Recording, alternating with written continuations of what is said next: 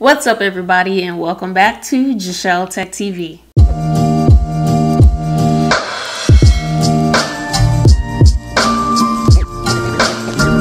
So, today I'm going to be talking about a very popular, highly discussed topic amongst people.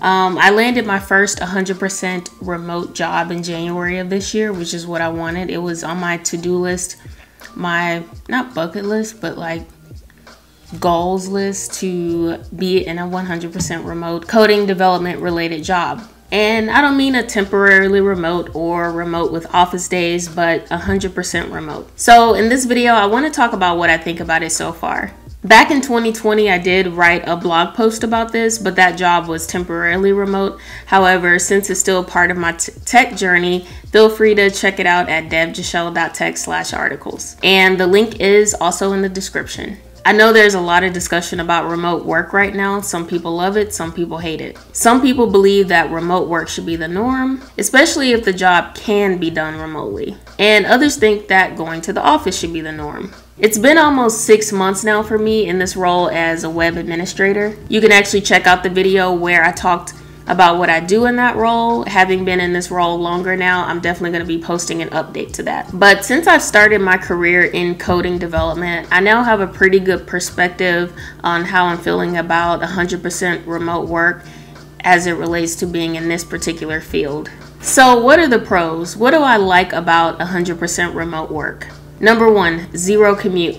Instead of spending mornings commuting, it's replaced with other things. I can wake up early and learn something new that I want to learn. As it relates to my career or anything else, I can sleep in until five minutes before work or anything else I want to do. Number two, lunch hour, less stress. So, first and foremost, uh, most importantly to me, is privacy. Um, there's no need to feel like I have to talk or socialize during my break, aka mental break. I can sleep or do something else I like, such as go for a swim, ride my bike, etc. There's absolutely no hassle to rush and go find something to eat. My refrigerator is here, and everything else I need is here. And sometimes I just like to go and sit out on my balcony, drink tea, catch up on messages. And there's no need to explain myself or where I'm going, I can just be. So, number three is more productive. There's no pressure for unnecessary socialization for the sake of culture. I can literally do my job and go home, which is what I'm there for. I get paid to do a job, and that's literally the only reason why I'm there. I don't feel that I get paid to participate in anything outside of that unless it's absolutely required or something. In the past, I have felt that pressure and it was draining in my opinion. Am I here to be a social butterfly or am I here to get stuff done? Trying to do both is a bit too much for me. Although the company where I am now, they take us to Las Vegas for training each year and I'm not arguing with that. That was fun. And just less distractions. I can completely focus on my tasks on the work. And to be honest, my employer gets much more out of me because of that. So my happiness directly benefits them. Four, work anywhere. I can pretty much work anywhere at home, in a cafe. If I want to travel, I can bring my work with me. Though I prefer not to do that, I'd rather just use my PTO, but it's cool that I have that option. And five, location independence. I'm not necessarily tied to where I currently live. If I want to move to a new state, I can just let my employer know. We have teammates in many different states, so where I am in the country is not a huge deal at all. Now for the cons. What do I not like about 100% remote work?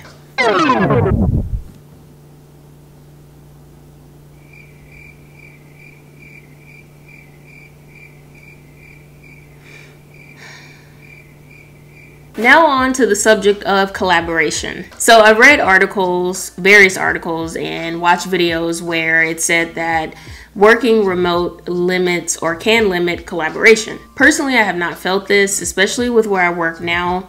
Um, have I felt it in the past? Absolutely. But where I am now, communication is great. People are helpful, and anybody from any department can jump on a call and we can just talk through something. I think it's only difficult when you don't have those things, such as great communication, teamwork, willingness to help others, and vice versa not feeling like you're just completely isolated, just on an island. But people are always available to help. Also, where I work now, they do these really cool employee check ins where you can give feedback about your role how you're feeling. Do you feel supported? Do you feel you need more training? And I've never had that before, and I think it's awesome. So, shout out. So, I do think that all depends on where you work and how the company is managed. So, would I ever work in an office again? Let me think. That's a big NO. Remote for life.